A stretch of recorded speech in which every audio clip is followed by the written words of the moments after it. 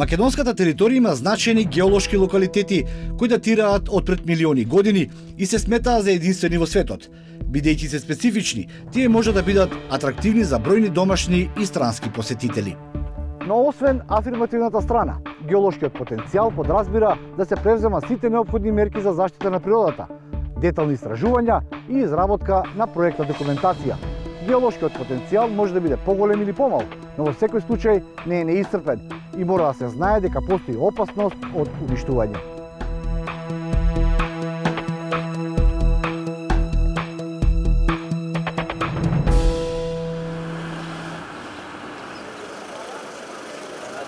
Сабота, пазарен ден во Делчево.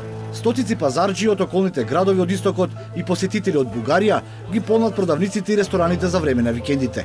Но малкумина прават прошетки до делчевските природни редкости, кои не се доволно истражени и промовирани. Затоа тргнавме да истражиме околината на Делчево, Над селото Нов Истевник на околу 20 минути пешачење се наоѓа геолошкиот локалитет Кукуље. Ова малешевско село е од разбиен тип и речиси иселено.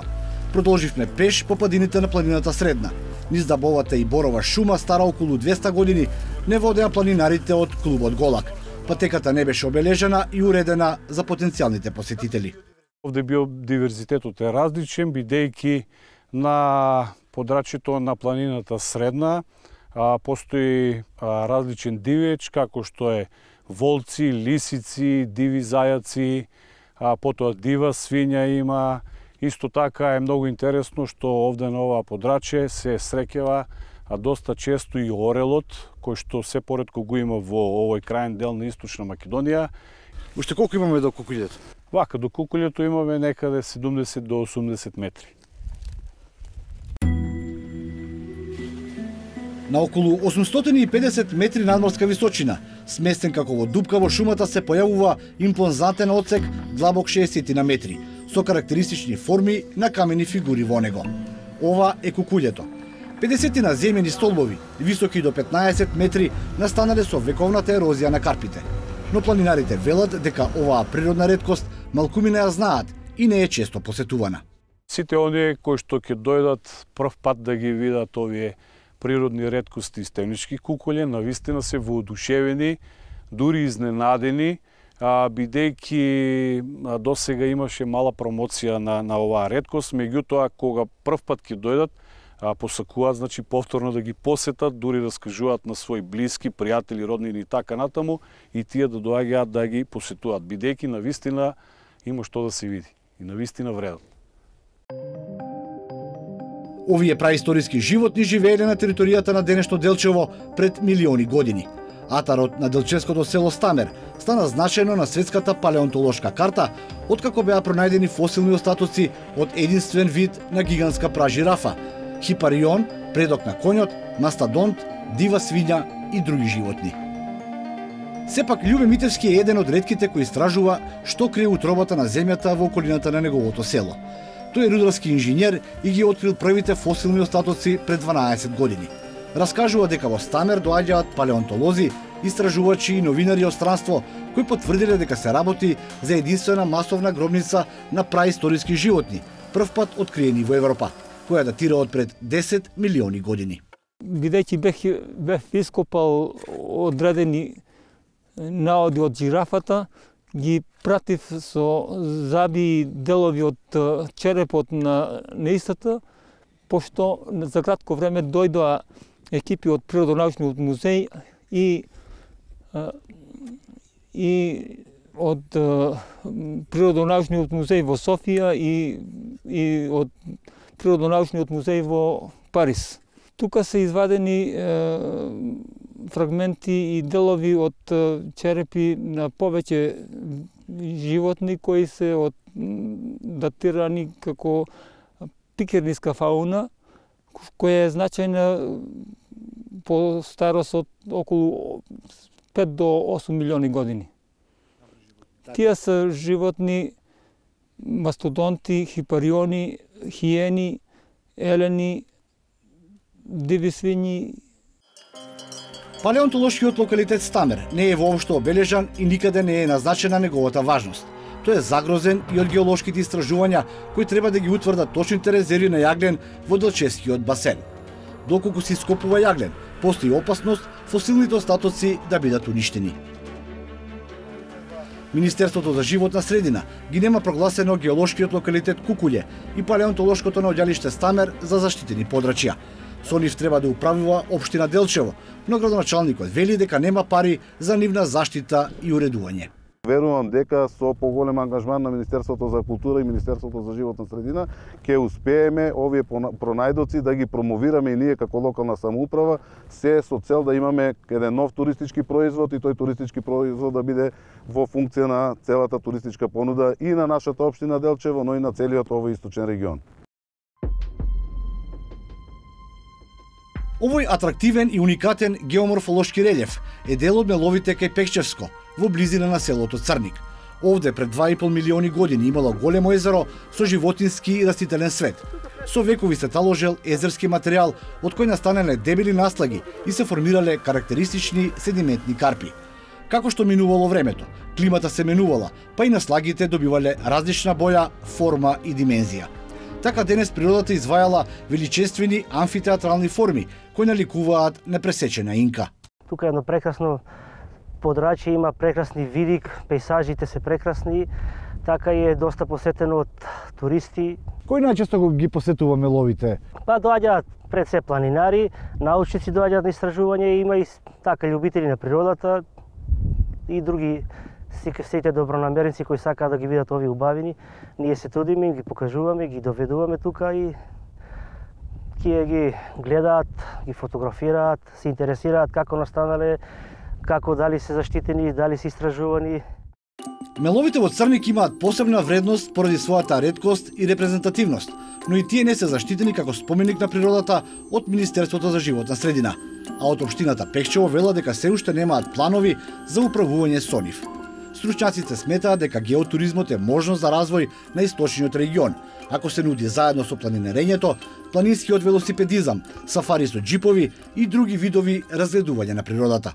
Она што досега е направено е само мапирање на локалитетот и негово соодветно означување кое што е тековно во рамки на еден проект кој што го проведуваат партнерски општините Берово-Пехчево и Делчево, а се однесува на промоција на природните ресурси од аспект на одржлив туризам. Секако во следниот период ова овој локалитет треба внимателно да му се пристапи, Значи, може да, да е интересен и за студиски посети на истражувачи и на студенти и за љубители на природата, меѓутоа да не се придонесе негово нели нарушување, да се задржи во оној облик како што го имаме, да се внимава на неговата одржливост. Ќе биде една дополнителна можност да како туристички потенцијала се разбира и за социоекономскиот развој на нашата општина. Меѓутоа, кога покрај оваа програма ќе гледаме да ги вметнеме и овие а, меловите за кои што разговараме затоа што и тие се прекрасна атракција кои што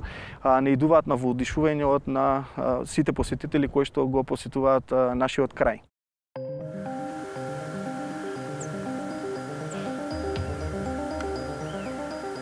Камените кукли во Клатовското село Куклица е единствениот геоморфолошки локалитет во државата кој е прогласен за споменик на природата со закон. Тие се најмаркантните карпеси столбови во земјава, стари над 50.000 години. Има околу 150 поединечни форми кои настанале со вертикална ерозија на вулкански карпи и се високи од 4 до 10 метри. Формите во централниот дел на локалитетот се најголеми и изгледаат на човечки фигури, младоженец и невеста, па нивното настанување се поврзува со преданијата на местното население, кое камените столбови ги нарекува весела свадба. Скаменетите сватови годишно ги посетуваат од 10 до 15 илјади туристи, велат од Сдруженијето на граѓани Извор, кој 15 години управува со куклица. Евидентно е дека ова ерозија е на годишно ниво продолжува од 5 до 7 милиметри. Значи, овој процесот на формувањето ќе продолжи понатаму. Значи, за еден подолг период облиците на овие форми ќе бидат изменети. Дали тоа е на некој начин аларм дека дека треба да да се преземат необходните мерки за заштита на на куклите за да не дојде до побрза ерозија, нели? Имаме сознание дека за да се заштитат овие форми како што се сега да останат со истиот облик, има хемиски средства кои се убризгуваат неприметливо за око и остануваат овие заштитени без да без да ерозираат. Меѓутоа стручните лица компетентни за природните локалитети изборуваат друго, укажуваат дека процесот на оформувањето по природен пат и дека природниот пат треба да продолжи во таа насока. Како се создадени по природен пат, така постепено ќе се менуваат, но па и постепено и во другите делови на локалитетот ќе се оформуваат нови форми на овие фигури, така да ете тука сме сега на средина. И Оздруженијето Извор тешко обезбедуваат пари за заштита на куклица, па стравува дека овие форми можат лесно да се оштетат поради неограничениот и неконтролираниот пристап на илјадиците посетители до нив. Предупредуваат и дека предвидената изградба на железничката траса од коридорот 8 и набраната Вакув во близината на геолошкиот локалитет може да предизвика негово делумно или целосно уништување.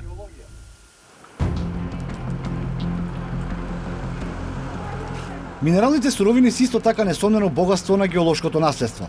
Сепак, единствениот минералошки музеј кој се наоѓа во Пробиштип не работи. Колекцијата од 250 експонати била грижливо собирана 50 на години. Кристализирани минерали, вулкански камени топки, вулканска лава, стари рударски алатки и други експонати. Денес тие само тежат во старите витрини и нема кустос кој ќе раскажува приказната за градот на рударите пробишти. Дивна Стојановска е геолошки инженер во пензија и таа била последниот раководител на минералошката поставка. Градот Пробишти потек, потекнува и, и е формиран од рударите. Така да секоја рударска фамилија која работела во рудникот во своите домови поседува минимални збирки. Јас верувам дека во иднина секој само иницијативно би донирал. Така за да остане на идните поколенија. Како спомен, за да се едуцират луѓето, да бидат на лице место со увид. Што е минерал, што е кристал, што е карпа. Државните истражувања на минералните суровини драстично се намалуваат во континуитет од 1990 година, а денес истражувањата ги изведуваат главно страски компании кои добиваат концесии за геолошки ископувања. Меѓутоа, во Националната стратегија за заштита на природата предупредуваат дека се доделени премногу концесии за експлоатација на минерални суровини.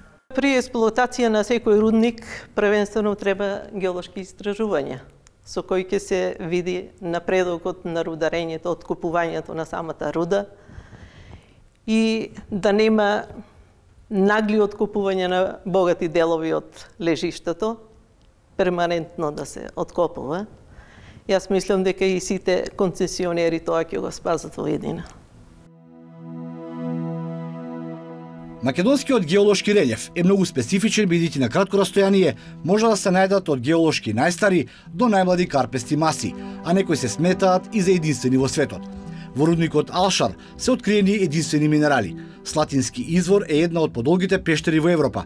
Влезот на пештерата Пешна е меѓу најкарактеристичните во светот, а локалитетот Маркови кули има уникатни геоморфолошки форми.